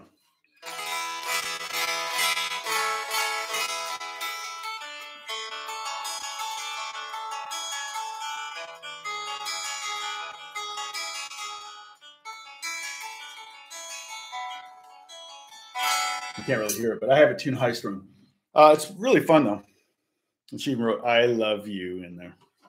Uh, but I love this, and that's why I hang it up because it's art piece of art. And then also I hang it up because sometimes I just forget that I have a high strung electric, and sometimes you like you play. It sounds really cool, like through a lot of effects and everything. It's a great little noise maker. I mean, I actually, I the, the sad thing is the guitar actually sounded pretty good uh, before I high, put high string. And now I want to like, I need to get another one of those. The thing is, I have a Paul Reed Smith uh, McCartney model that has soap bars, and it's great. Um, I love it, but I, you know, I, I never play that thing, hardly ever, because uh, it's just too ding dang noisy. So, hey, Oliver, nice to see you. Olivier, Olivier, I think. Where are you from? Hey, Broken Thumbs is back. See, I just, I knew you'd, you left with an acoustic, came back with an electric. The only thing consistent is the sip. Yep. Yeah, I, say, I always say there will be a, no quiz on this. There's something else I say a lot too. Um, I don't know. I need to make a note of some of my more quotable moments. Um, yeah, Olivia, you'll be um, another one. Okay, well, there's all. Uh, you're not alone.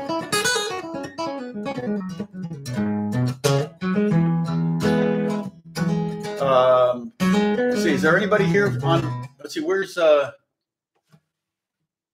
Bob? Uh, I'm pretty popular in the Netherlands. I am, and I was just there. I went to a couple guitar stores in in in in, uh, in uh, Amsterdam uh, back. Uh, about a year and a half ago. I was in. Uh, how long? How long have I played guitar? I've been playing guitar for the last couple hours now. Um, oh, let me see if I can find this C. Uh, I've been playing for. It'll be 50 years in July. 50 years. That's why I'm so gray. It's not because I'm old, but because I play guitar for a living. That's why I'm gray. Uh, I'm gonna put, put I'm gonna find a video. Let's see. Uh, the neighbors.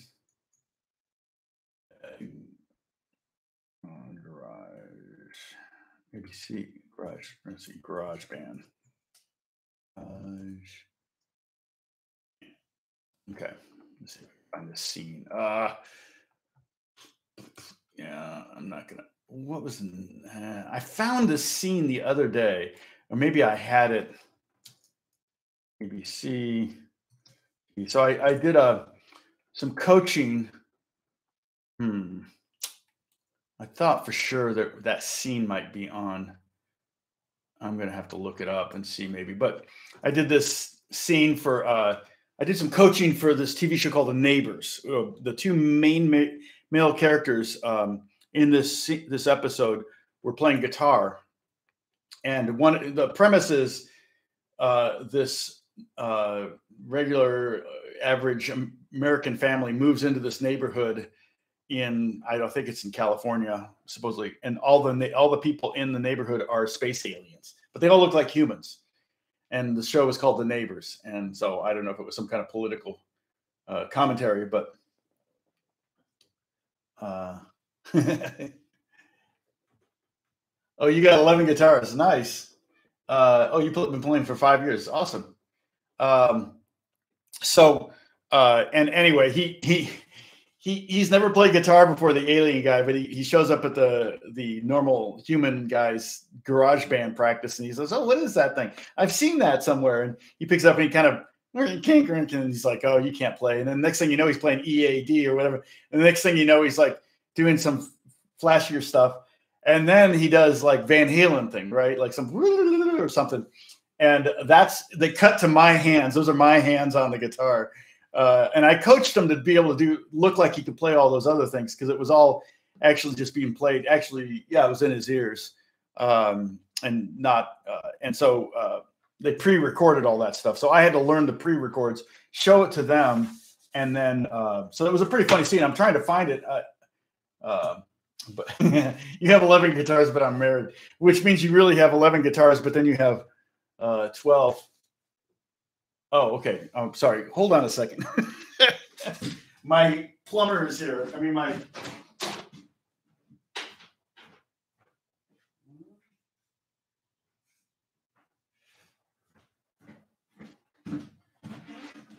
My pool guy is here and he's going to repair tile. So you can take a sip because I left uh, left the room. So um, Yes, counting the strums. Yep, Kathy, definitely understand that.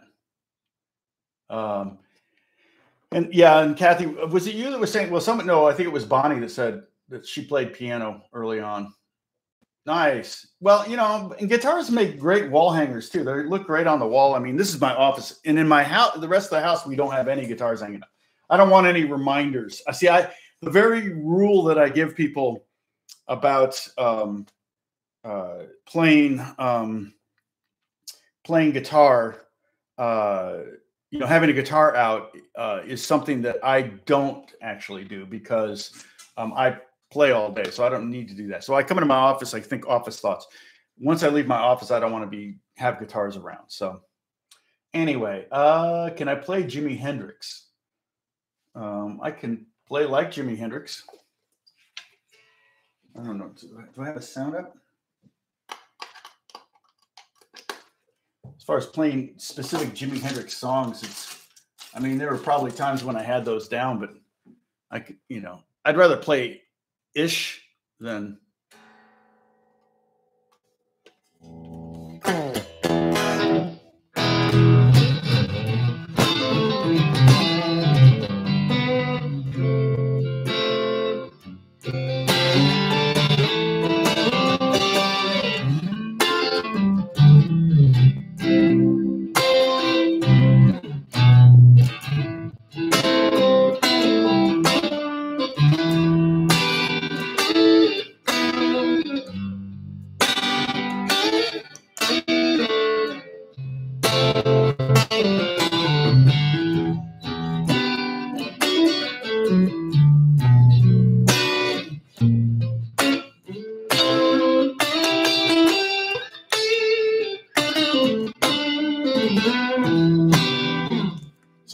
So I'll mess around on Jimi Hendrix, but you I got to be careful not to quote him too much, or I get a takedown notice. So, uh, yeah, this guitar is. I kind of play every style. I'm a, a master of none.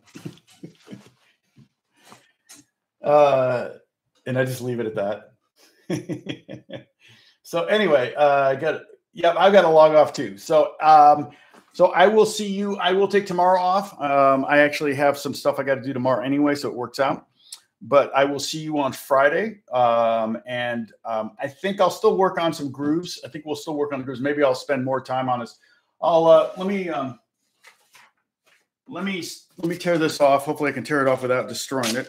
Voila and I'll scan this and put it up on Discord. Okay. Um, in fact, I didn't do this stuff. I'll I'll scan these and put them up on Discord too. Okay. PDFs are okay, right? Can I do PDFs on Discord? And Kathy has been gone, but that's actually good. I'm glad that she's uh, getting a break. So I appreciate you, Bruce, uh, for moderating. Um, appreciate it. Stay safe. Oh, and Diane, uh, yeah, did I? Was there a story I was gonna? Oh, the story was, yeah, I told you you wouldn't like it. so I'll see you on Friday. Aiden, good to meet you. Um, Ireland, uh, that's you. I, I would have guessed you were from Ireland with a name like Aiden Donnelly. You're probably really from like San Francisco and you're just messing with us all. But no, I'm just kidding. anyway, I'll see you guys. I'll see you guys in a couple days. I may log on tomorrow. One thing I may do tomorrow is if I'm writing, I may log on with my laptop, put it over here, and you can see me work. Okay. So that may be a little, you know, like I'll, I'll say, I'll call it take my subscribers to work day. Okay. That's what it'll be called. So if you see, if you get a notification, it'll be for that. And I don't know what time that'll happen. Uh, I do have a, I do have an Instagram. If you just go to the Strahle, um, but I don't put up guitar stuff. It's mostly just, just weird stuff, you know, like my kids or me or whatever. So, okay. Oh, Clem, didn't see you there. Thanks a lot. Take care. God bless you guys. And uh, you can keep chatting for a little bit. And then the Discord site. Oh, sorry. Let me grab the Discord site. Um,